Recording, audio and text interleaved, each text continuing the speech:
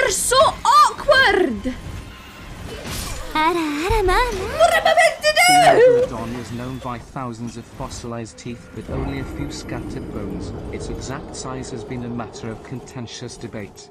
Over the past century, paleontologists have come up with estimates, based mainly on tooth size and analogy with modern great white sharks, ranging from 40 to 100 feet from head to tail, but the consensus today is that adults were 55 to 60 feet long and weighed as much as 50 to 75 tons. Just like your mother, then.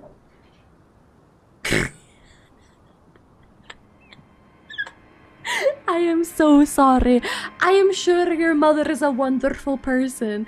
I am sure your mother is a wonderful person. I'm sure she is a great person. I'm sure she's a great person. Okay, Playback, thank you for being here.